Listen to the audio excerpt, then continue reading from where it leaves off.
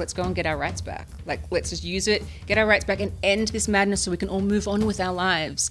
The reasons for female only spaces have not gone away. So we should not be in a position to have to justify them. I'm sick of ex- like when people go, but why do you need a female only space? Because we want them.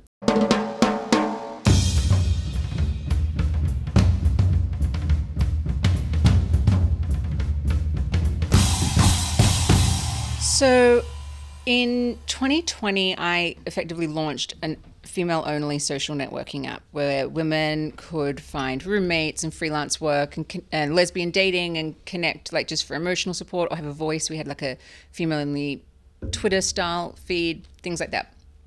Then in 2022, I got an Australian human rights complaint from an individual named Roxy Tickle it was for gender identity discrimination, and it was against both Giggle and myself. So it's two respondents in the case, even though I am the CEO of Giggle. Um, and basically, in with how it works in the Australian Human Rights Commission, you can settle something before going to court. To, in this case, because it was the Australian Human Rights Commission, not a state-based one, it would be straight to federal court. And the conditions for conciliation were so ludicrous, basically, that I would have to let him on. I should say he's a man who claims to be a woman. I would have to let him on, all men who claim to be women, um, go to sex and gender education, which could only be re education because I know about sex I'm sorry, and gender. Tell me that again. I'd you would be sent on a course. Yes which would educate you in gender identity. Basically, it, it, was it could only be re-education because what else would it be? I, reprogramming. Yeah, basically. Right. Um, and then the other, the last condition, which oh, this one bothered me the most, actually. Well, not the most, but more than the other, like letting him on. But it was that I would have to moderate the content of what women would say, so not to offend men who claim to be women. And so I was like, this, you know, we'd set up, created this place where women could have a voice and speak freely away from men. And then suddenly there was this man saying, well, no, I'm going, not only am I going to be there, but I'm going to control what you say. So I said no to conciliation. I was also, I was 15 weeks pregnant when I got the um, AHRC complaint. And by this time of going back and forth, I was end of second trimester going into third.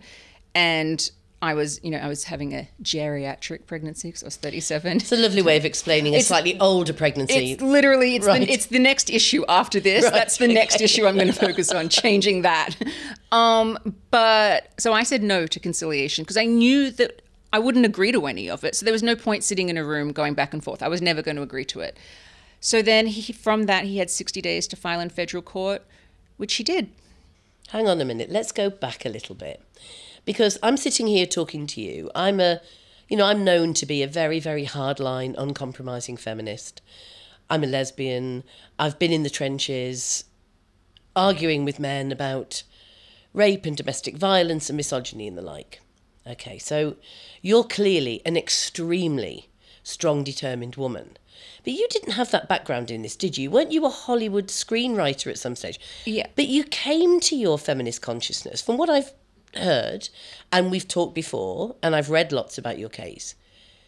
You're someone who has none of it. You will not take this from men, will you? No. Just give us a bit about your background from Hollywood. So I went to Hollywood when I was 24. I stopped doing um, a master's degree in philosophy. I stopped one credit shy. I really didn't like the, the course I had to, the one last one I had to do, and I was like, oh, no. And I got on a plane and I went to Hollywood. I knew two people, and I was like, I'm going to go and write movies. How hard can it be? And it turns out it was actually relatively easy for me to get into the industry. It took one year for me to sell my first script, which I got signed to one of the biggest talent agencies. I got a manager, you know, I got a proper um, working visa. And that working visa, I was on an O1 visa, and I could only make money selling screenplays. I couldn't even, there were certain deals that would happen later on where they were trying to get me on as like a pro- associate producer or something, and I couldn't because my visa was screenwriting. And now, like almost 40, look, I can sort of understand a lot of things a lot more. Of going, I was so naive going over there and actually putting myself in an incredibly vulnerable position. I thought I was, you know, so empowered and strong going and brave going over there, but no. Which you were. Well, I was, but what I was actually effectively did is I put myself in a situation where, because I could only make money doing this one thing, it meant a lot of people had control over my life. I didn't. And so when I got into the industry, that's kind of when the nightmare started. This is so this would have by the time I was in the industry, it's like 2010, 2011. The this is pre Me Too. So all the horror stories are true. Like it was horrific. And the reality is most screenwriters are men.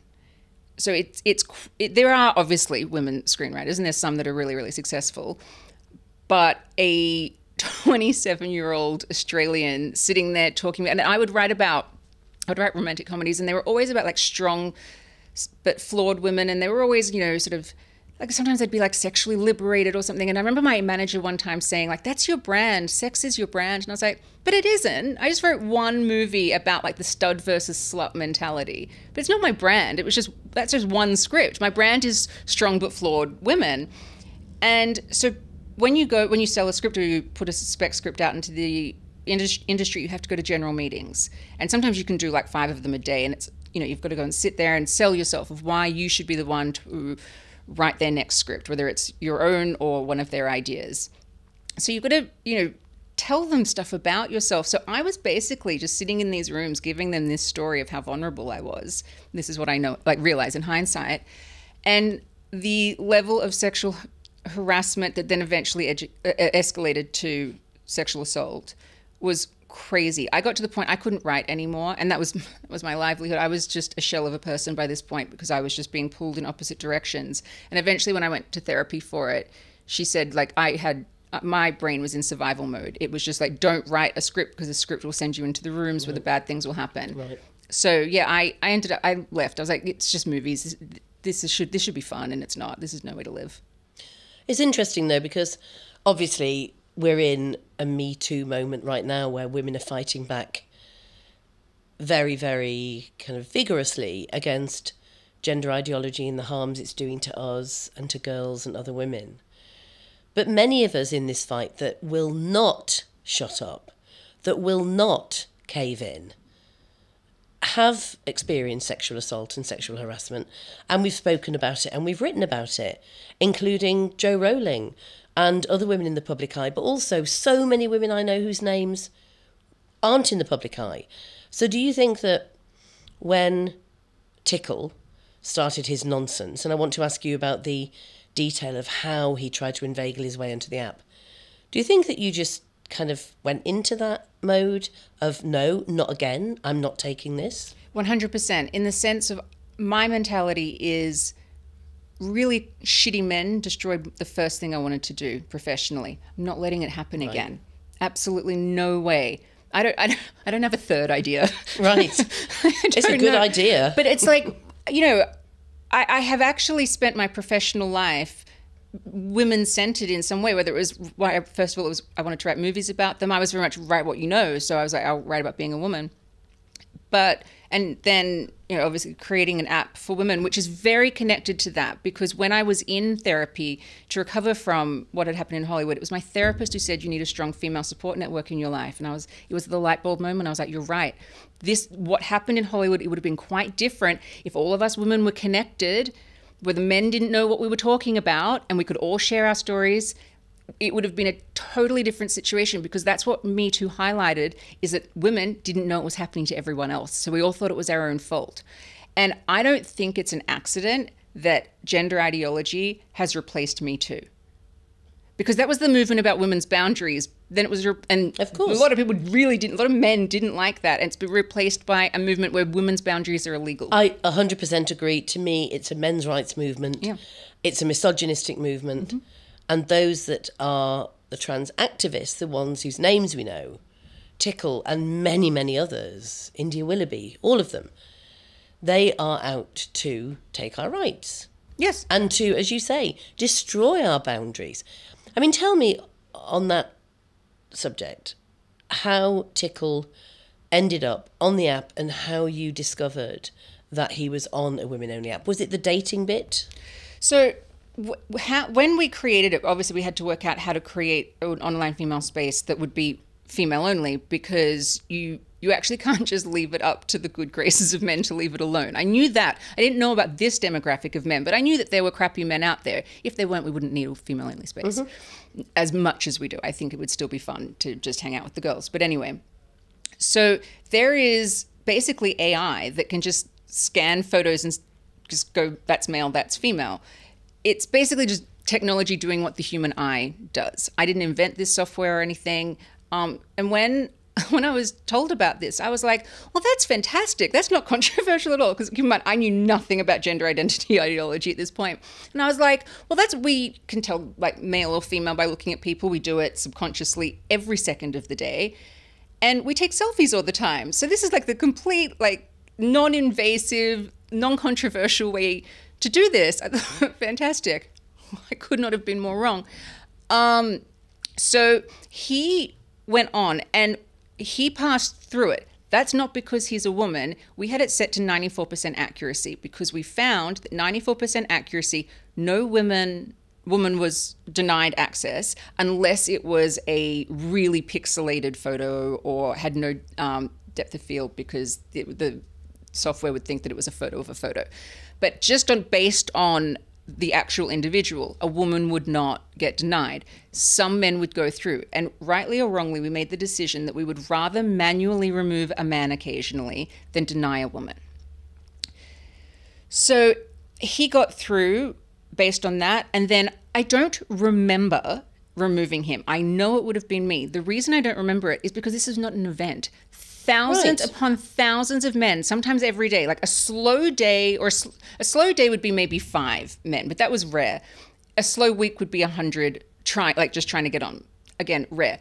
Most of the time, it was thousands trying to get on, and some, sometimes within an hour because we'd be under attack, and so they'd just be coming at us. And we had about in two years, we had about ten really big attacks of men trying to get on, and it was horrible every time it happened. Just think about that. Why do they do it? They can't allow us to have women only space. They have the Garrick Club, a club that's been in the press today about men only membership. And I mean, men have the world. yeah, You know, Like- it, it's incredible to think that they cannot bear us to have an app uh, just for women. when we were developing it, again, I didn't know about gender identity ideology, but one of the examples that I would just think of all the time was Grindr. Now, obviously, now it has fallen to this nonsense, but when it was created in like 2010, it was specifically male and then on top of that homosexual male only. Right. that's what it was. So i was just like oh look so and then like the her app as well. Like these were apps that were very sex based and they're, they're, they're classed as niche apps basically. So i was like ours is just a niche app just like that. Um actually now even you would say the only one because they both they're a free-for-all um so so it was it? so yeah he he You kicked him out. You, so you I kicked, yeah, I kicked him out. I I have no recollection Yeah. of it. It was just another you? day at the office. Um, then he, a few weeks after that, and this is when he became a person of note in my life. He called and texted my phone. Now I literally have no other person has ever uh, to do with Giggle like as, as a potential user or a ex user or a current user. No one has ever contacted my phone. So he found your number. Yes. And he actually called it. Yes, and so because the anch- the only anchor, like the only data we had basically from users, you have to have an anchor for a user so that the app will function basically. And the only thing we had was a phone number. So he- because he called and texted my phone, I just typed his phone number in, and I saw the onboarding selfie. I that's a man, and I called my dad, and I said, "This guy who um, I was blocked from Giggle, I'm has called and texted my phone. What should I do?" And Dad said, "Block his number and don't tell your mother because my mum." sees the death threat. She she knows everything that's going on. She watches the whole thing. And so I was like, okay, fine. And I tried to put it. I, I sort of did put it out of my mind because it really freaked me out. But I, so I was just like, just ignore, ignore, ignore. And then about two months after that, I got the human rights complaint. Incredible. So would you say that this was a concerted effort? That this was, I mean, it's difficult, isn't it, to ascribe Mm. a kind of um, motive, but I can't I can't put a motive to it, but what I can comment on is what I do know in black and white. So I'd had one interaction with this person on Twitter, not knowing who he was. Yeah, I mean, he has like, I don't even think he has 200 Twitter followers. Like, we're not talking about some trans rights superstar here. He's a nobody. Um, but in January 2021, he had. I had tweeted about McIver Ladies Baths, which is this um, rock pool in Australia that has been like women only for like 140 years since women weren't even allowed on other parts of the beach, and so they gave us this little corner and it's where um, like oh, lots of like women going through cancer treatment orthodox jewish women muslim women and just women generally recovering like they might be recovering from domestic violence and want a day out at the beach but they want to be in that or not wanting some man to perv on their breasts exactly when they're exactly in a state of it could just be a woman just going it's just actually really nice to not have men Do we have the- looking the, at the me. Hampstead Yeah. Women's Pond? Yeah, exactly. Which has now been taken away from us. Yes. So McIver Ladies Baths was taken away from women as well. But so I was tweeting out in support of them. And this is when the first time when Australian trans rights activists, I think, sort of started to notice me. I'd only been publicly talking out about it all for about six months at this point. And so I looking back after I got the Australian Human Rights Commission complaint, I had to go back and find out about this person. And so I found that there was this one interaction. And it wasn't hostile or anything, but he had said like, you know, I I am a trans woman and I should be in female only spaces, something to that, something to that effect. And I was like, you know, I wish you well, but no, female only spaces are female only. And what he'd actually commented on was a post I had done about trans rights activists leaving one star reviews and coming after the app. And me saying this is what trans rights activists do to female only spaces. So that is just undeniable of him being utterly aware of what the situation is. And I blocked him, again, not knowing who he was. I just blocked an account from my perspective. Um, and the only reason I know the date that that occurred is because he tweeted, Sall Grover, CEO of Giggle, has blocked me. Uh, uh, He put it in writing, and then he went on the app. I mean, it's a it's a witch hunt, isn't it? It really is. And and here you are now. With how long has this litigation been going on so far? Two years and two years and two months. And people that haven't been through this sort of litigation have no idea how it drains your entire soul. It sends you to the point of breakdown. It sucks everything from you. It- it's hell. Psychologically, it is very hard to process being punished in such a way because the process is the punishment. Yes. being so I feel I've already been punished. Um, it is hard to process being punished for seeing a man and acting accordingly because that's actually all I've done. That's right. I can't. I don't. I didn't know this person's gender identity, so like. Most people can't even define what gender identity is. Why am I supposed to know about it? I mean, you know, on um, GB News a few weeks ago that um, Robin what, what's that? White, yeah, that, the that dude. lawyer. Yeah, so, so someone who's actually like a barrister, he was asked by Andrew Doyle, like, define gender identity, and he couldn't do it. And I'm like, he can't even do it, and he pretends he's a woman. Why on earth are we supposed to know what gender identity is and be able to incorporate that into our lives And in any way? yet, Julia Gillard, the former Prime Minister of Australia, who for many of us was momentarily a hero when she made that speech about misogyny uh, in Parliament. And it went viral, and we were all clapping her on, and there's a feminist. And what did she then do in 2013? So she removed the definitions, or her government removed the definitions of sex, man, and woman from the Sex Discrimination Act. So basically, we have a Sex Discrimination Act now where the words discrimination and act have definitions, but sex does not. But gender identity, gender identity was put into it, and it does have a definition in there, which is effectively gender identity is gender identity. It's a circular definition. Who knows what it is? And it's about mannerisms, it's about a self identification. It has no material One reality. of the things about it, um, when you go, I don't know if it's in that core definition, but when they detail it further, they say gendered behavior. And I'm like, what is that? Because that is very subjective. Because from my position, Tickle's behavior could not be more toxically masculine if it tried. And then you could also argue that me just saying, standing up and saying no and fighting back is masculine behavior in and of itself. So what what is this gendered behavior? It's I don't based even know. on harmful sex stereotypes. Yes. As feminists have always said, have we not? Exactly. So I'm like, I just it it's complete nonsense, and the basically the muddling of the Sex Discrimination Act is why we're in this position. Prior to 2013, you could have just had a female only space in Australia. There was no issue. The actual Sex Discrimination Act was in itself the exemption. It allowed it so long as it was like for you know equality and for reasonable Yes. reasons. But what female only space wouldn't be? I can't even think of a female only space that would not fit that description. But it's also in terms of discrimination. If, for example, um, a woman is working in whichever environment and they don't want to give her maternity leave and she gets pregnant and they sack her. Now, how would that affect a trans identified male? Well, so this is what's really interesting. So, the Australian Human Rights Commission has actually intervened in the case as amicus curiae, which is very normal. They intervene in cases all the time. But the Sex Discrimination Commissioner has intervened in the biggest sex versus gender case, arguably, that has ever happened because it's it completely directly dealing with the conflict. And she, the Sex Discrimination Commissioner, is on the side of gender. So, like oh, adding to the adding to the conflict. And in the submission, they say that um, sex is not binary, it is not exclusive to male or female, sex can be changed. And then it's a 28 page document, I think. And I say to everyone all the time, I recommend reading it. It's publicly available on the Federal Court website of Australia. Type in Tickle v Giggle, you'll find it.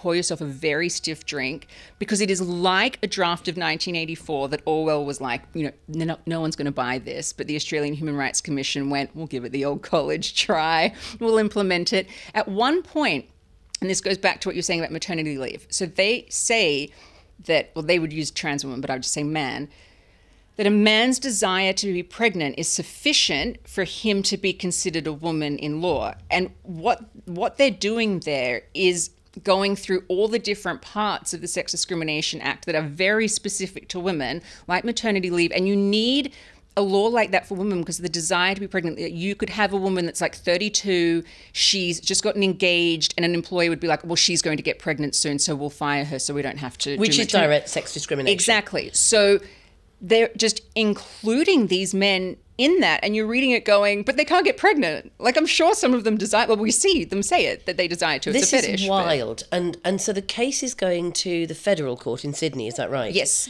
and it starts in April. 9th of April to the 9th to the 12th of April is the hearing. This will have ramifications not just across Australia, it's Mm-hmm. federal, obviously, but elsewhere because the UK is a signatory to CEDAW, which is one of the instru- international instruments. Yes. that women rely on to argue that government should protect its female citizens from discrimination, including male violence, Mm-hmm. rape, domestic abuse, etc. And Australia's a signatory, and you've ratified CEDAW. Yeah, and what's actually quite unique about Australia, apparently, is that th- because so we we we enlivened it by basically we signed it in 1983, and then the Sex Discrimination Act came out in 1984, and we incorporated it very thoroughly.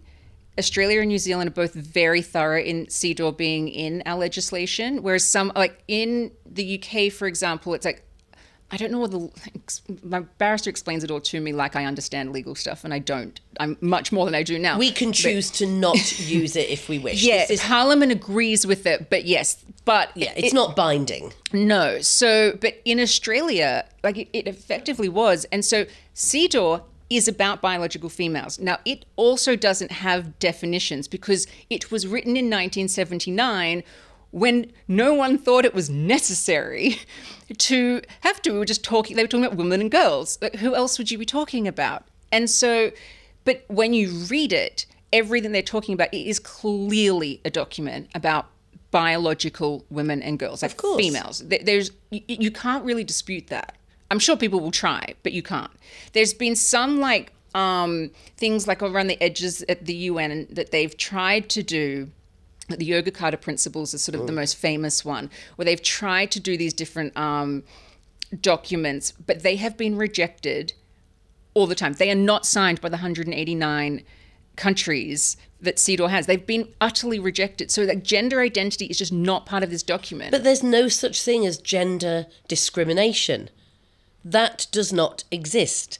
It's sex discrimination. Uh, uh, the only way you would say that that exists is if they were using gender as a synonym for sex, which they once kind of did. Some, especially in America, that was a big thing. But now you just can't even use that synonym anymore. but when, But- for example, years ago when I was doing a piece of work for the UN. I wouldn't touch them with the barge pole now for obvious reasons, the un women. Yeah. You know, they, they sometimes used the term gender based violence and they meant very, very specifically, they meant sex. But Yes. the word sex started becoming a little bit too embarrassing to use in case people thought it meant doing rude things. But it's so childish. Do you know what? I'm starting to wonder was anyone really having a problem with the word sex, or was this part of the plan? Maybe.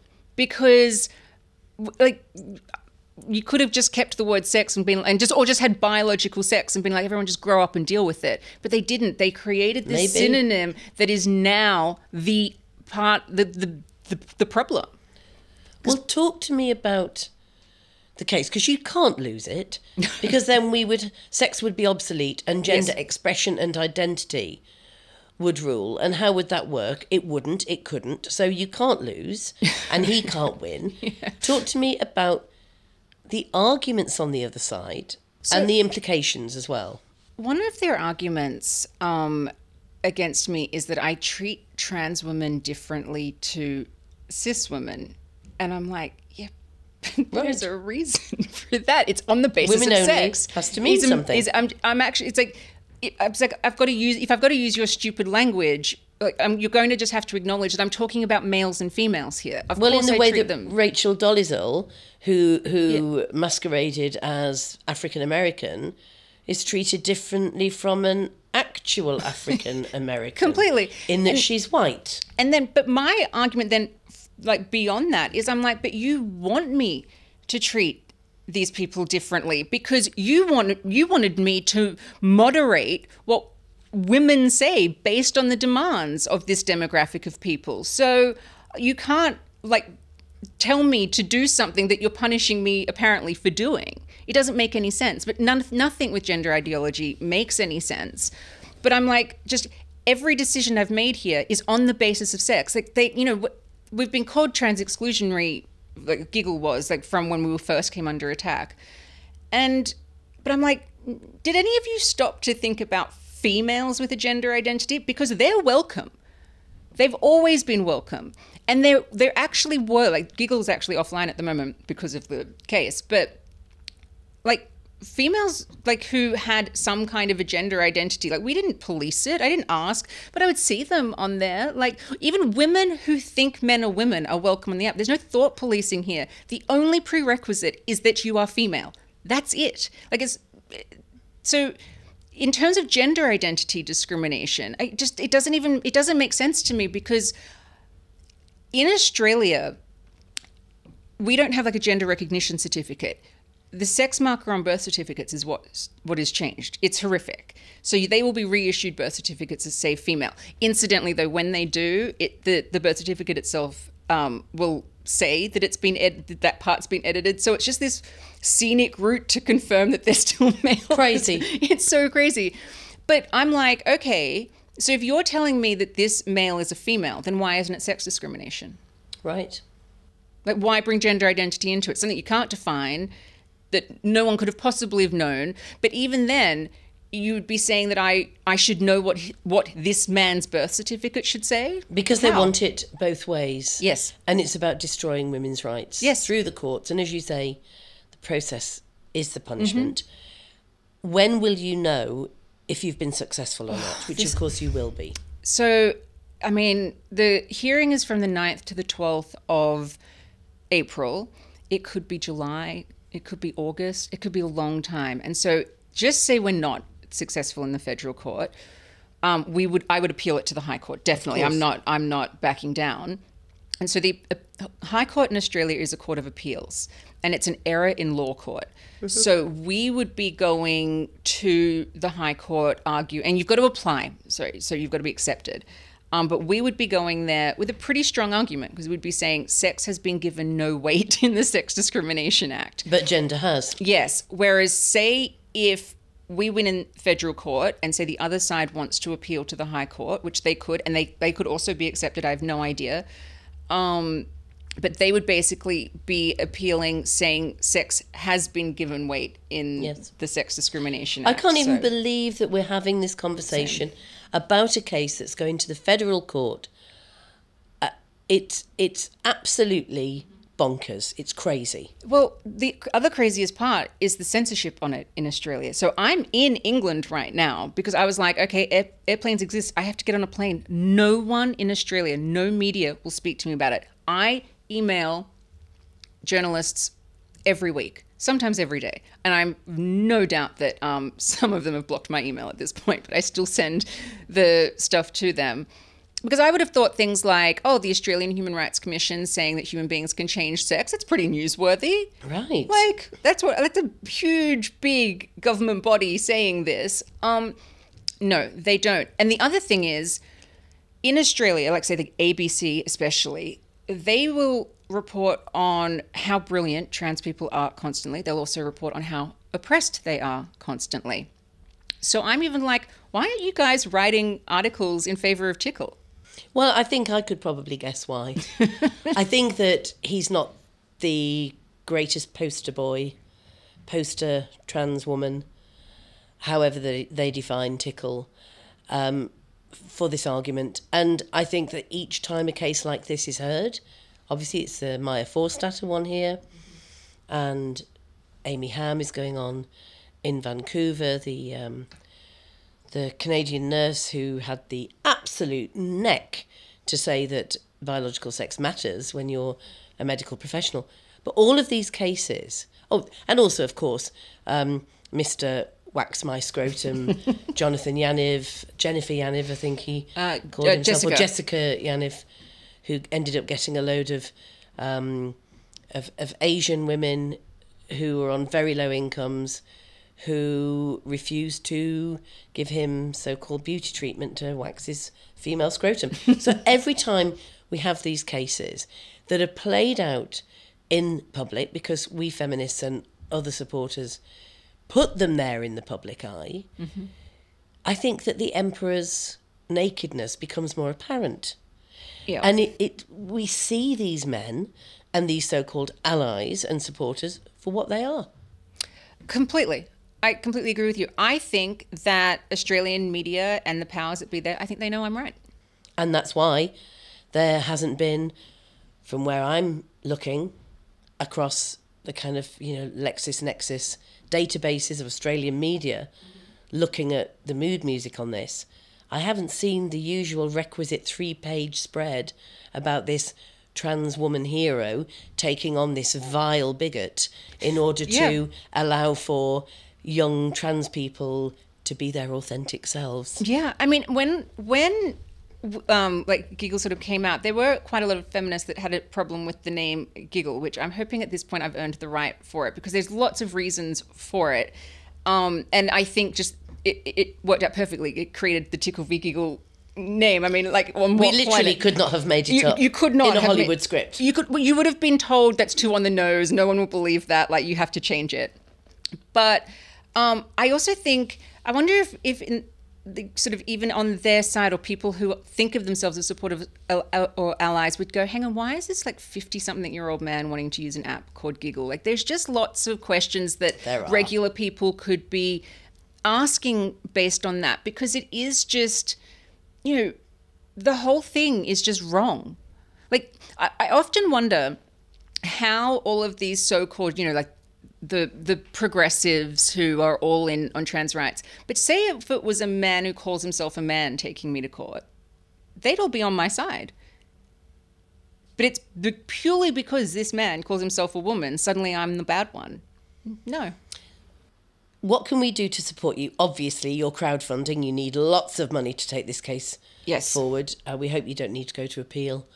But it's a very, very expensive process, isn't it? Yeah, so it's for federal court. It's five hundred thousand dollars. We've raised two hundred fifty thousand so far. If it goes to the High Court, and I will say there is a high chance that it will go to the High Court.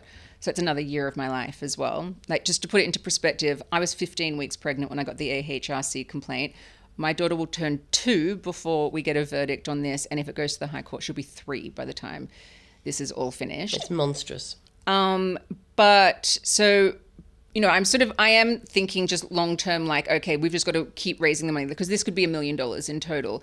And in the event that we don't have to and we've got some excess money, there are so many other cases that need it. So we can just sort of pay it forward.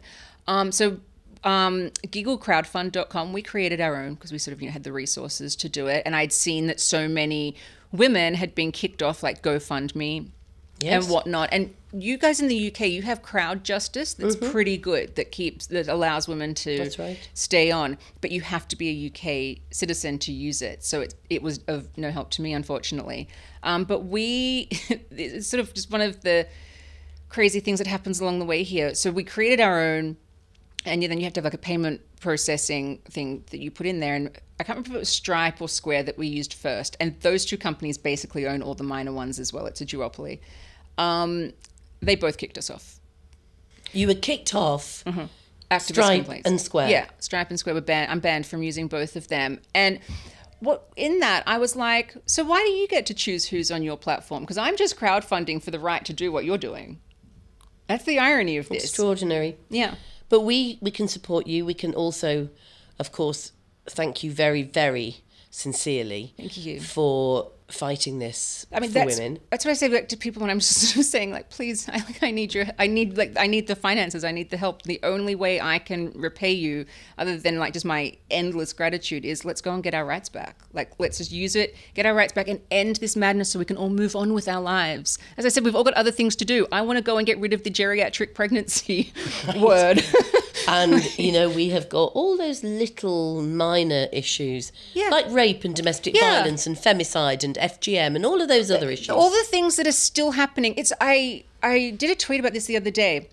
The reasons for female only spaces have not gone away. So we should not be in a position to have to justify them. I'm sick of ex- like when people go but why do you need a female only space? Because we want them. That's enough for me. We we do not have to relive the trauma we have gone through at the hands of men every time we want to de- defend why we want to be away from them occasionally. Just have a refuge away from you, whether it's online or in real life. And I think that, of course, there's going to be female only spaces online because that's where we live up half of our lives now. There's going to be more of them. They're going to be in the virtual reality world because we're already hearing stories of women's avatars being raped. Like men can't help themselves no matter what the situation is.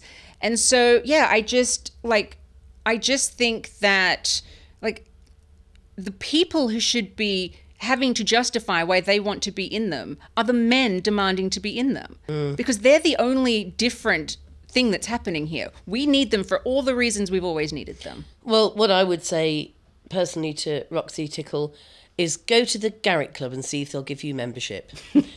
and on that note, Sall, it's been an absolute pleasure to talk to you. Thank you so much and it's I just can't believe I'm meeting you. I'm so excited. And same here. Thank you again for everything you're doing. Thank you.